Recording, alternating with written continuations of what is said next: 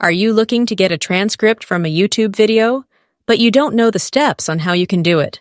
Well, I'm going to show you how you can get a transcript from any YouTube video on the platform, so just follow my steps.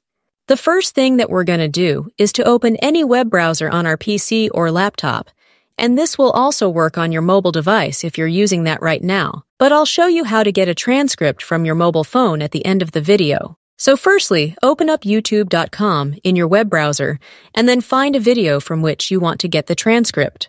I'll open my own YouTube channel and select a video from there, but the process is the same for any YouTube video on other people's channels. So once you open the video, you want to scroll a little bit down, and in earlier versions of the YouTube website, if I would tap on the three dots at the right side, I would see a little Show Transcript option but you can see that I don't have it here anymore. They've moved the transcript button, and in order for you to find it, just tap on the More button in order to expand the description of the video. And if I go all the way to the bottom of the description, you're going to see the transcript section, and you want to tap on this button called Show Transcript. That will then open the video transcript at the right side of your video, and you will be able to see every word and every sentence that's spoken in that specific video. You can see that we also have timestamps next to these sentences, and we can see what sentence was said at what time in the video.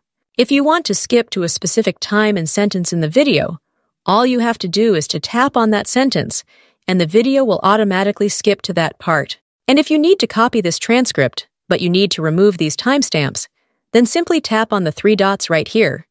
Then select this Toggle Timestamps option, and then the time will be removed from your transcript.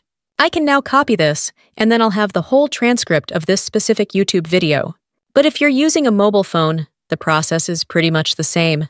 You want to open the YouTube video in your YouTube mobile app, then click on this More option to expand the video description, and you will then see the transcript section with the Show Transcript button, on which you'll click on. And that's it, everyone. If you have any questions or suggestions, then make sure you leave them in the comments down below and I'll see you soon.